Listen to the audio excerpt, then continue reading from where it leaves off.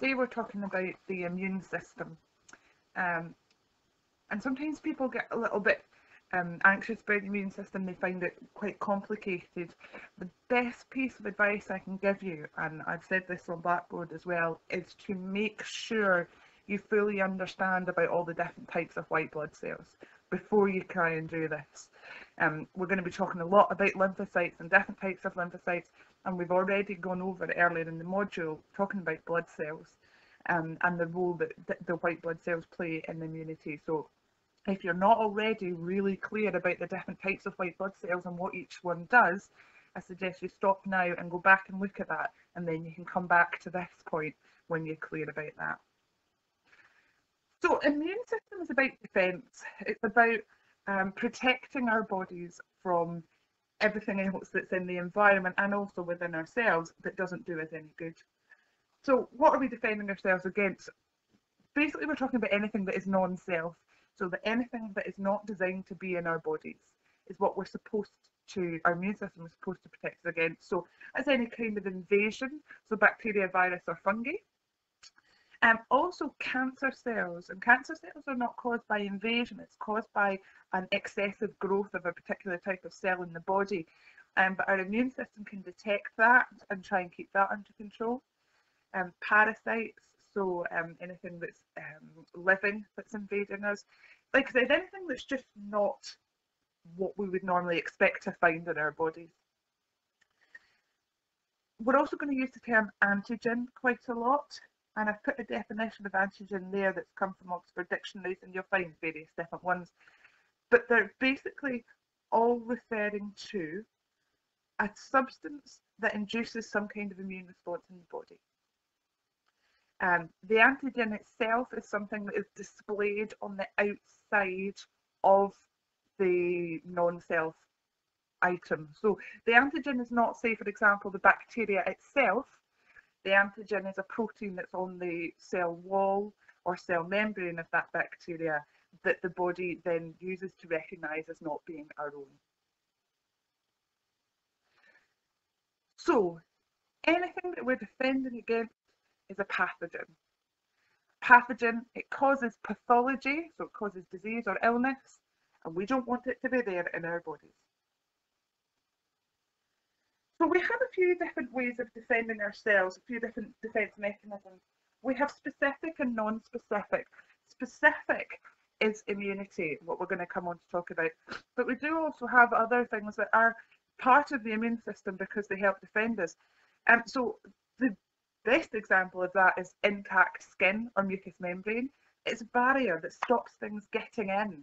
So as long as everything is intact, we've not got any cuts or grazes, then that protects us a huge amount from the external environment. Phagocytosis by macrophages, so large white blood cells that will just non-specifically go and gobble up anything that it doesn't think should be there. It's not initiated by anything in particular. These cells just go ahead and do that. Um, natural antimicrobials that we have within our cell, things like probiotics, bacteria um, that live within our gut in particular, that help get rid of anything that shouldn't be there. And also inflammation.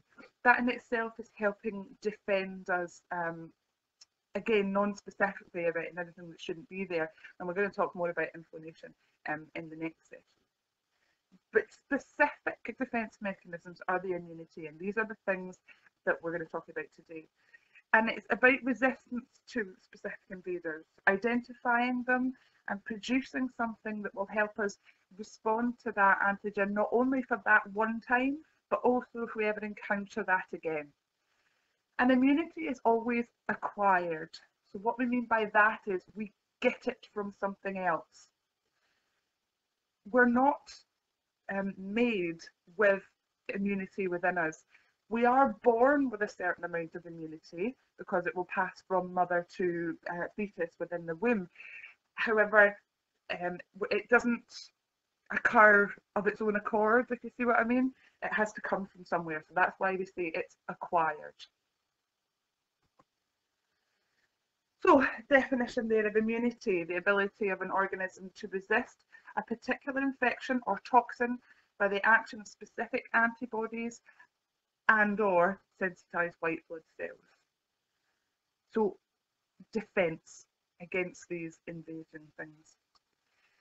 We have talked about other systems previously, um, particularly blood cells, obviously, but also when we talked about the lymphatic system and its role that it plays in immunity as well in scanning the fluid within the body, passing it through the lymph nodes to um, present whatever might be in that fluid to the lymphocytes. And we're going to talk about that shortly. So immunity is all about lymphocytes, T and B lymphocytes. For each antigen, there is a corresponding lymphocyte, or there will be once the body has been sensitized to it. And we have T lymphocytes and we have B lymphocytes, and like I said, you should be pretty clear about these already.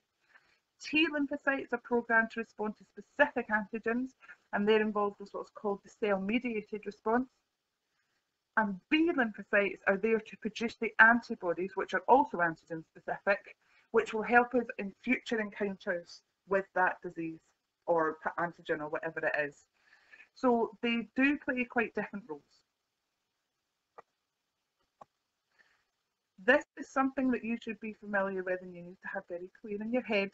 It's part of a mind map that we have that had all the blood cells on it. We're just looking at white blood cells here and in particular lymphocytes. So the immune response is the way the body reacts to the antigens. And like I said earlier, the antigen itself is the protein that's on the surface of whatever the pathogen is. And it's what the body uses to identify it as non-self. So you can basically think of everything as having like a little flag on the outside or a little name tag. And whatever the flag or the name tag says on the antigen is not something that the body recognises and therefore it knows it's not our own, so let's get rid of it. And there are two types of immune response. We refer to these as the humoral response and the cell-mediated response. They are different, but they both occur at the same time um, in order for us to have the best, most efficient and quickest reaction possible to the antigen as it presents, both for the initial sensitization and also for future presentations. So let's think about the cell-mediated immune response first. This is about T lymphocytes. And the T lymphocytes are generally produced or resting in the thymus, so that organ that you've already talked about in the endocrine system. Um, and they're produced in the thymus and they're released in circulation and they generally hang out in the region of the lymph nodes or lymphatic tissue. So um, things like um, MALT or um, tonsillar tissue, that type of thing, Peyer's patches in the intestine, which are part of the lymphatic system. And these T lymphocytes are sensitized to whatever antigen they're designed for when they first encounter it. And this can be at any point in our life. Now, most of the time we encounter antigens for the first time when we're babies and young children, because we encountered everything for the first time at that point in our lives. And they can be encountered in two ways. They can either come across the actual antigen itself, because it's in the lymph that's flowing through the lymph nodes or the um, lymphatic tissue where they are um, residing at that moment in time. Or they can also be encountered by something called an antigen presenting cell, So what these are, these are macrophages that have spotted something that it didn't recognise, so it gobbles it up, it has phagocytosed that to get rid of it, but it has taken with whatever antigen was on the outside of whatever it's phagocytosed and put it on the outside of its cell. So that although the T lymphocytes haven't had the opportunity to meet that antigen specifically, they're going to come across this macrophage that's presenting it and they can still be sensitized. And that's really the ideal situation because the body hasn't had to have a reaction to the antigen in order for it to be sensitized to it. So we haven't got ill because we didn't recognize that. The macrophage has got rid of it straight away, but it's then going to present it to the lymphocytes for sensitization so that if we come across it again, we won't get ill. in future um, situations.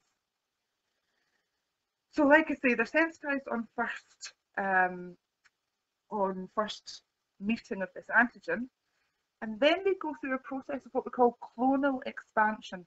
And this is when your generic generic T lymphocyte splits into one of its four categories. Think back to that um, flowchart or mind map we just looked at. Because the T lymphocyte can then move on to being a memory cell, a killer cell, a helper cell. Um, or a T suppressor cell, that should say. My apologies, I've just realised I've got memory twice. So memory killer, helper or suppressor. We've talked previously about what those different cells do, so I'm not going to dwell on it at this moment in time. So, going to just trying to show in a diagrammatic representation of what I was talking about here. This is what we call the antigen presenting cell. So this is the big macrophage that's come across the antigen and it has engulfed it and destroyed it. And it's taken the protein on the outside and displayed it on its own cell membrane. So the T lymphocytes in the lymphatic tissue can recognise there's my antigen. And from there, they're going to split up into all these different categories. Suppressor, helper, memory, and killer or cytotoxic is another name for them that diagram also talks about what they do. It's in Ross and Wilson, as you can see on page 381. Cytokines play a really important role in the cell-mediated response. And cytokines are little protein packages, little chemical mediators. Whenever you've got an antigen, particularly if it's a diffuse area of that, so say for example, um, you've got a break in the skin, and you're getting quite a lot of influx of um, antigens, you need lots of lymphocytes in that area. But the lymphocytes don't naturally hang out there because they're in, in the lymph nodes. So cytokines are released by T helper cells. So once it's been sensitized and the clonal expansion has produced the four different types, the helper cells serve the function of trying to get more cells to the area to get rid of the antigen. And they do this by producing cytokines. Tiny little chemical messengers that are released from the area go to where the T lymphocytes are, and the B lymphocytes for that matter, and attract them to the area. So you get influx. They're really important this uh, for initiating and prolonging the inflammatory process. Inflammation is the body's way of dealing with the problem. You get an influx of cells and blood and fluids to the area, and cytokines are one of the ways in which um, the inflammatory process is provoked. So they're released by the T helper cells. It's all about trying to get as much done in a shorter period of time. So we've got rapid phagocytosis and rapid destruction of the problem and therefore less tissue damage occurring.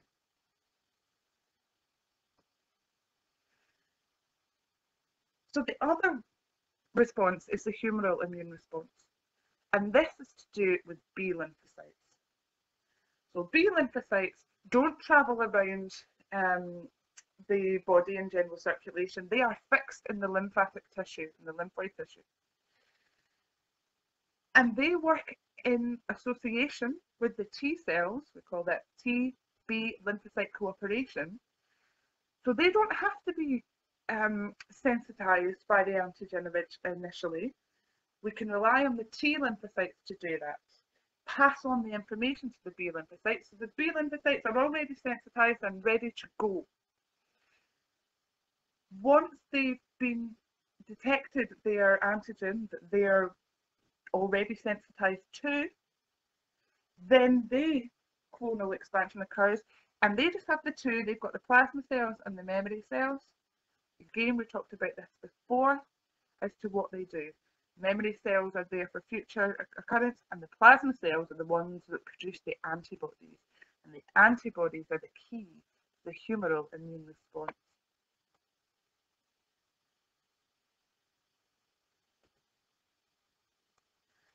So antigens are not cells themselves, antibodies, sorry, antibodies are not cells themselves. They are little protein packages produced by the B plasma cells.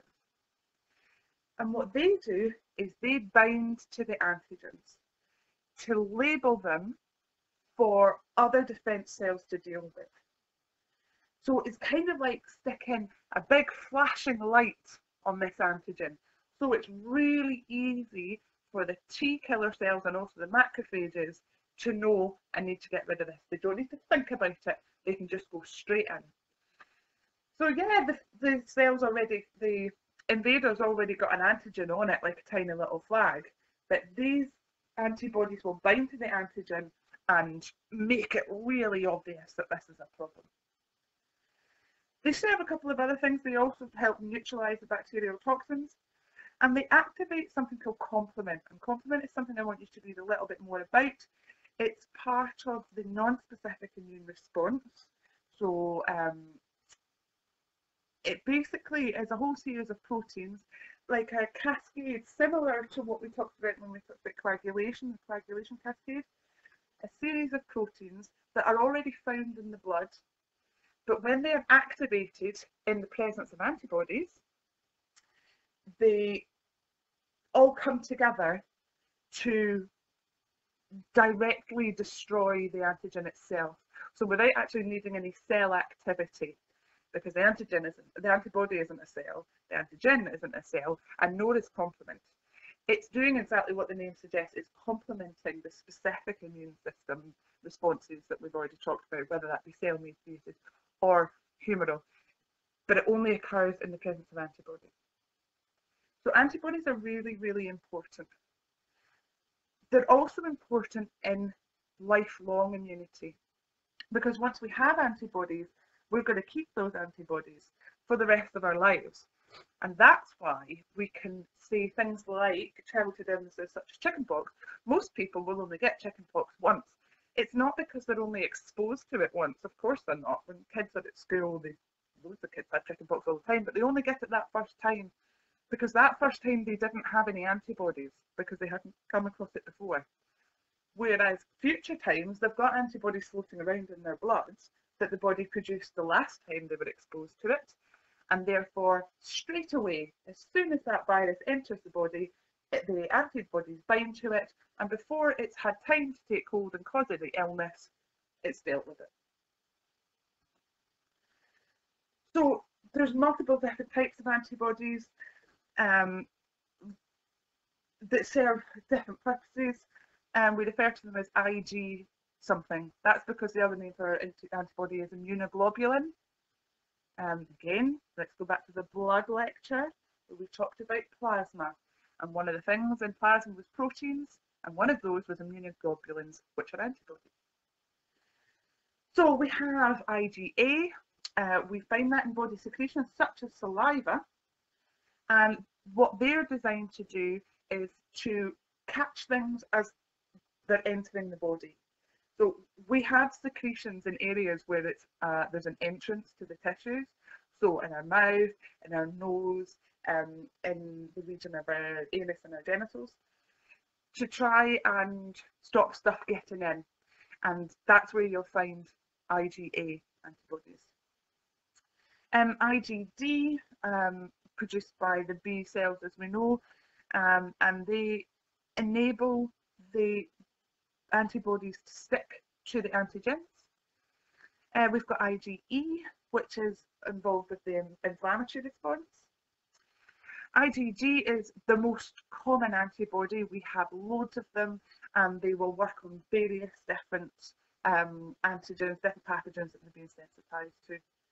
And IgM is one of the ones that's involved with complement. So I mean, there's loads more than that. I've just given you a list of the um, the most common and most relevant ones, but in particular IgA is relevant to us with it being found in saliva.